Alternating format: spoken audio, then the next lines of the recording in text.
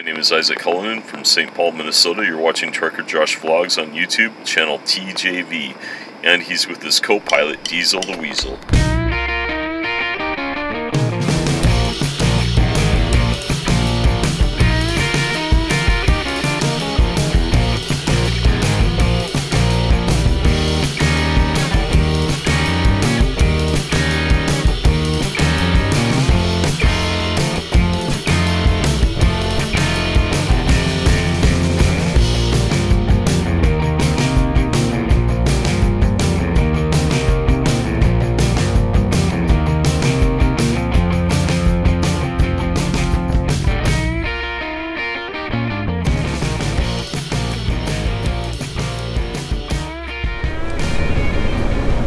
Good morning, everybody. We're here in Tomah, Wisconsin at the Kwik Trip, right where we went to sleep. The sun has come back to visit us, and we're in a hurry today.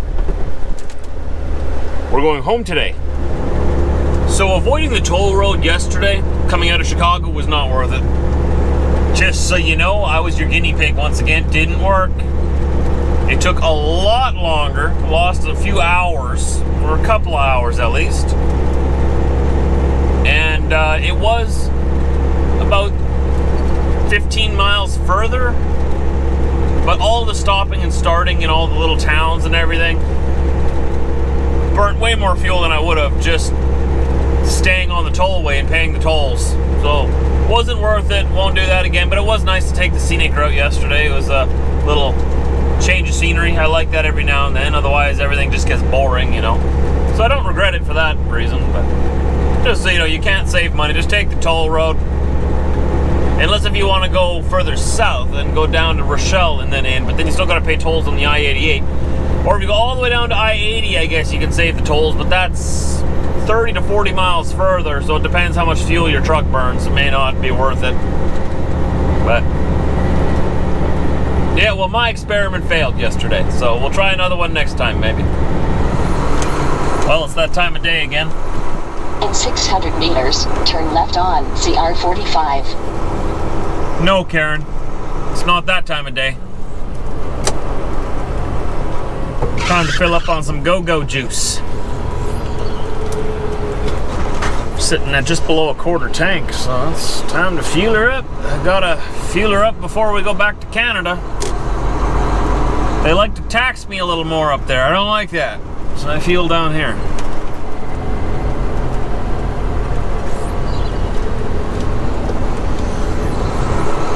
Interesting how that works, right? So this is Alexandria, Minnesota. Check our load while we're here. Go in, grab another coffee, let the weasel out, do his weasel business. Whatever it is that weasels do for business. Get ourselves some fuel, some DEF, and uh, we're about six hours from uh, our yard, our destination for today. I'll be home pretty late tonight, but I'll be home tonight. So it's hard to tell if this bug deflector is actually working that well. I mean, bugs are still hitting my windshield. But I don't know if it's less than what would have been hitting my windshield without it. I mean, maybe it's more for cosmetic looks than for functionality, you know? Maybe it's, it looks nice, but I kind of thought it would be bigger when I bought it. You know, I thought it would stick up a little further, be a little more functional, but apparently it's just supposed to be shiny and look nice, because I'm still getting bugs on my window. But, like I said, it's hard to know if it's more or less than what would have been there. Because, you know, what it's supposed to do, it's just supposed to sort of deflect this uh, jet stream of air as my truck moves through the air, it's supposed to like push the air upwards, and then when the bugs fly towards my truck, that jet stream of air is supposed to catch the bugs and push them up over my truck or over my windshield. So maybe it's working pretty good. I don't know. Still seeing a few bugs on here. Kind of wish it was a little bigger, but whatever. It's better than it was We're about uh, probably 10 miles from the US Canadian border here, heading up towards Canada on Interstate 29. Uh, we'll be crossing from North Dakota into Manitoba. Just got to drop this trailer off in a nice secure yard. And then I'm going home. and We'll del deliver this into Winnipeg Monday morning. I've got another load of lumber. I think I was telling you about it before already. uh, got a load of lumber that I've got a tarp. I've got to pick that up Monday as well from Winnipeg. And head down to uh, Wisconsin with that. Back to Wisconsin. Diesel's favorite state. There's lots of cows. Well, the sun has disappeared, the moon has appeared in its place. We're back in Canada. Oh, what are you doing parked on the shoulder here? Sneaky, sneaky. Terrible place to break down. So yeah, we'll be home before you know it, guys. Good morning, folks. We're here in Winnipeg right now. We slept at the Esso Card Lock just across from IKEA in, uh, what is this, on Lowson Crescent, I think. I got to deliver the steel that I picked up down in Chicago around the corner here and then go pick up that lumber uh, pretty much just down the road from here. So I figured I'd come into town last night and sleep here. That way I'm here first thing in the morning and I don't have to wake up so unreasonably early way at home and then, you know, get to the truck, get it warmed up, hook up to the trailer again or this worked out better. So I'm just enjoying a wife muffin right now. She made for me, delicious. I'm gonna go and deliver this, and I actually got a nice little uh, surprise present from my load gods today. Uh, apparently, uh, they don't want me to deliver this lumber until Thursday, which means I don't have to leave until tomorrow afternoon. Uh, I don't think they meant for it to be a gift because I don't think they knew, but it turned out to be a gift. Because today, when I'm filming this, is uh, our second wedding anniversary. And I was going to be on the road for it. So we sort of did a little bit of a celebration last night at home on Sunday. And then uh, we were going to go to uh, celebrate it uh, bigger when I got home, right? We're to do something big when I got home. Uh, instead, I got to go home tonight. We're still to do something big later on to celebrate it. I'll, I'll, share more about it with you later. We're pretty excited about it. We've never done it before. Uh, it's an event we want to go to in Winnipeg. But uh, for now, I'm just to deliver the steel here around the corner. And then I'm to go and pick my lumber up and I'm to go home. It's to be great. Don't sleep here very often. I don't sleep in the city of Winnipeg very often at all because when I am in the city, usually I'd just go home, right? But this worked better for my schedule. Let's go get this delivered. Let's go pick up the other stuff. Let's go home. Well, we're in here. They're almost done unloading. Just waiting for them to finish now so that I can put my tarps away. My next load, I can't have my tarps in the front here. They're gonna want the lumber all the way closer to the front. I'm gonna have to put my tarps on the back. It'll just save me a lot of time later. Just about done.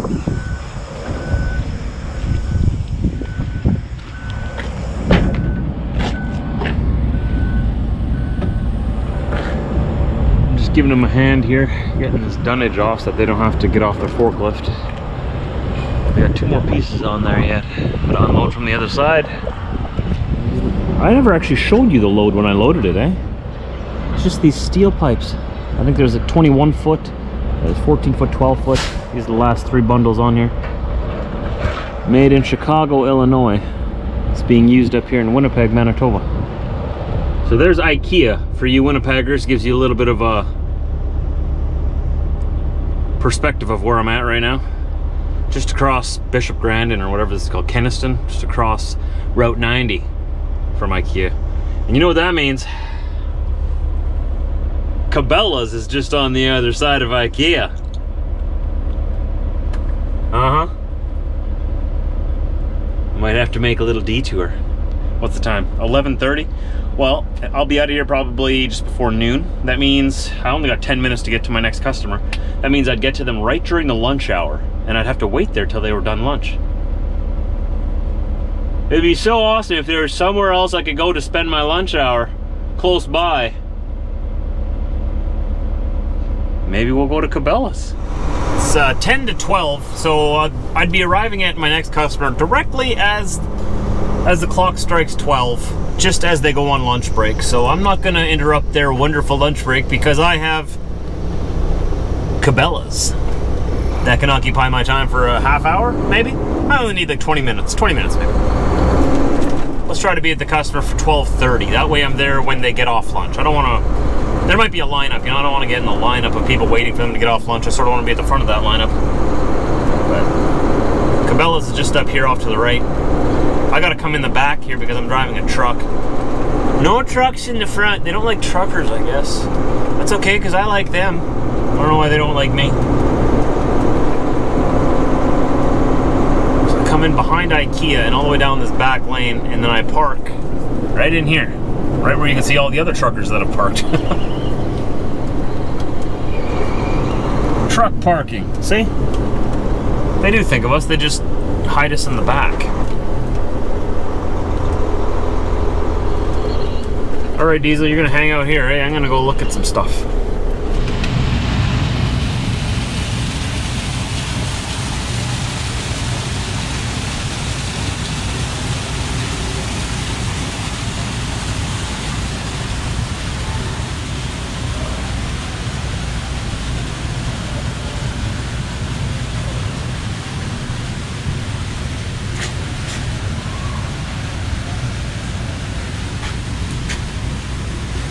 Oh, we got these coyotes around our property. Tons of these little guys around our property. Gotta be careful because they'll lure your dogs out thinking that they're friends. One will come out and then they'll lure your dog into the bush where the whole pack is waiting for them. Mm, those are not good dogs, those are bad boys. Bad dog.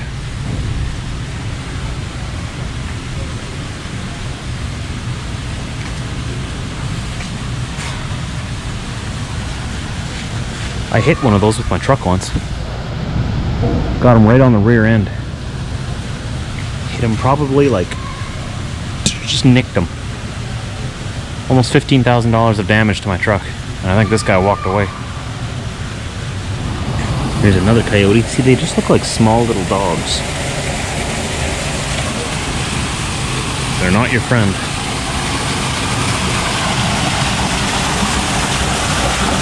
Well, there's the beaver. I knew they'd have the beaver somewhere. That's what we got wrecking our property right now. I should show you guys the tree they took down in the last couple of days. Massive tree. They're pretty big.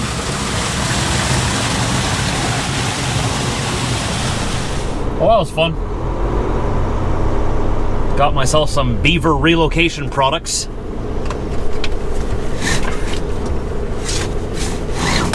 Should be fun. Let's get out of here. We gotta go pick up our freight.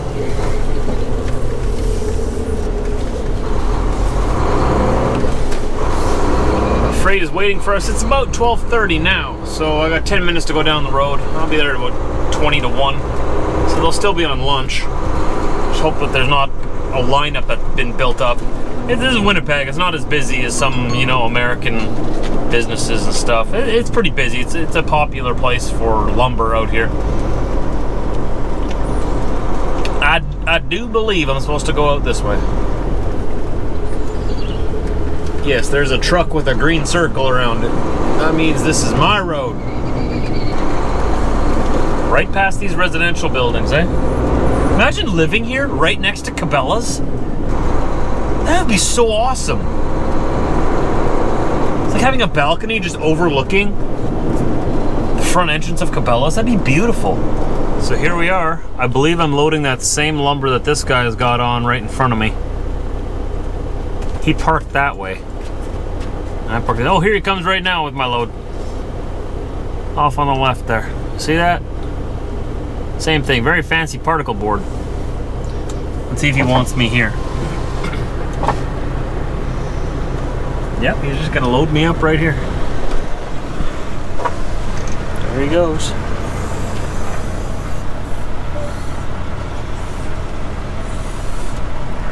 Touchdown. Cool. So, I'm just gonna quickly tie her down here and tarp it. It shouldn't take longer than an hour or so to get everything done and rocking and a rolling. You know what I'm saying? This is going to Rothschild's, Wisconsin. Rothschild, Wisconsin is just south of Wausau, Wisconsin, which is that's pretty central Wisconsin. Right in the middle, pretty much. Like right in the middle of the state. Almost. Very close. I'd say Stevens Point is a little bit closer to the middle, but that's just south of there, so. Oh, okay, well, how long is it going to take to get there? Let's see. Starting from here, 1,033 kilometers, about 650 miles. It's one day's drive. So I could technically leave Wednesday morning and be there for Thursday morning if I wanted to be in a bit of a rush. Maybe that's what we'll do.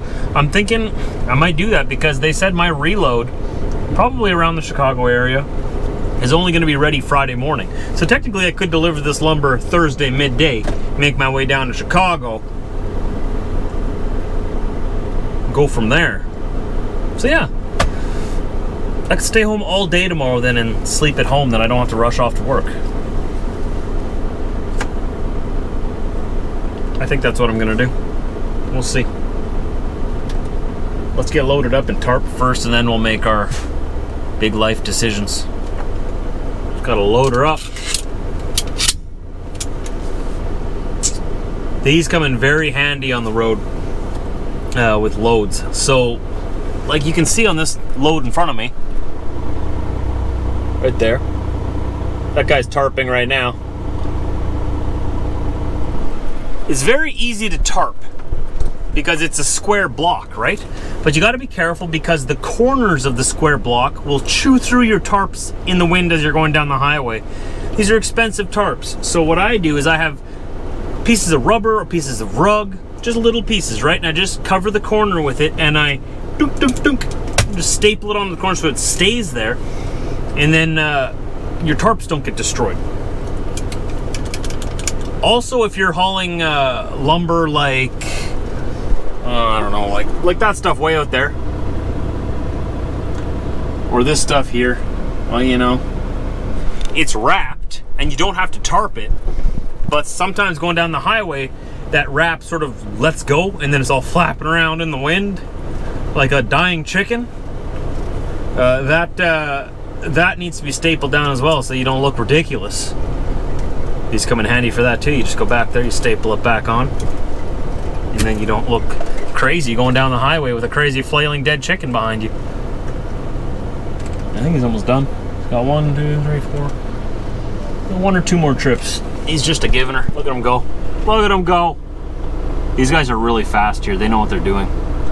Like, and they they're organized. I really like this shipper.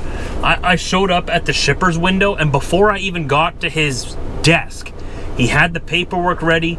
He had the loader, the guy who's going to load my truck. He had sent him a message saying that I was here, said what to load me with. All I did was I walked in there and I said, "Hey, how's it going?" He says, "Good. All right, just go around back. We'll get you loaded." I'm like, "Well, you, you already know who I am. What I'm here. Oh yeah, yeah, yeah. I can see your truck out there. I know what you're here for. Yeah, just go around back. We'll load you up." Nice organization gets things done quick. I love shippers like this where they know what they're doing. Everybody's like communicating with each other. That's why I'm staying in my truck right now. I'm just staying out of their way. They're not in like a, a reckless hurry. They're just in a hurry. And I don't want to make it reckless by, you know, getting in their way. Is that the last one? So how many's he got on there? He's got one, two, three, four, five, six, seven, eight, nine, ten lifts on there now. Ten. Oh, he's going. Oh no, he's taking that one off the top. I think it'll be a very exactly the same load as that guy in front of me. What has he got? He's got one, two, three, four, five, six, seven, eight, nine, ten, eleven, twelve, thirteen, fourteen. He's got 14. So he's still got to bring another four. oh yeah, he's going back. Going back for another one. There he goes.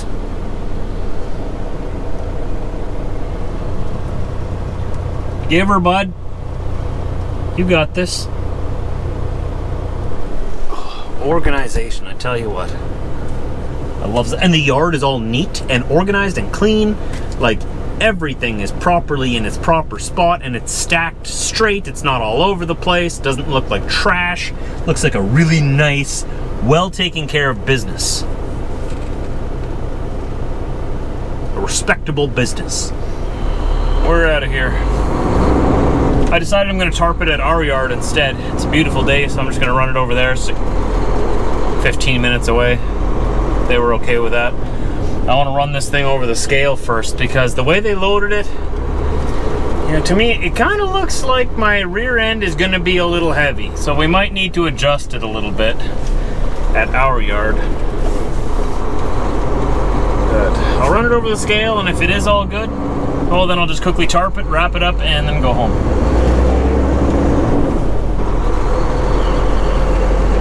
This way I'm not plugging up their yard either. They got lots of trucks to load. That guy, that other guy's right in front of me there. He got his all tarp, but his looks good. Like, looking at his truck, I can tell, you know, he's not overweight, but my freight is set so far back, it's almost like right over the rear axles, and there's nothing over my drives. So I don't know. We'll, we have a scale at our yard. They don't have a scale here. That's why. That's why I told. I just told him, hey, you mind if I just tarp it at our yard? Nope. This guy did a good job. That looks very neat. Everybody just got new toys. New Frankie? How do, what do you think? What do you think? What do you think of your new raccoon? Oh, yeah, tell us how you really feel. Come on. Tell us how you really feel. Pretty good. oh, oh, found that one. Which one are you gonna take, Wiener? Which one's yours? Wiener. Get him. Get him. Diesel's got one.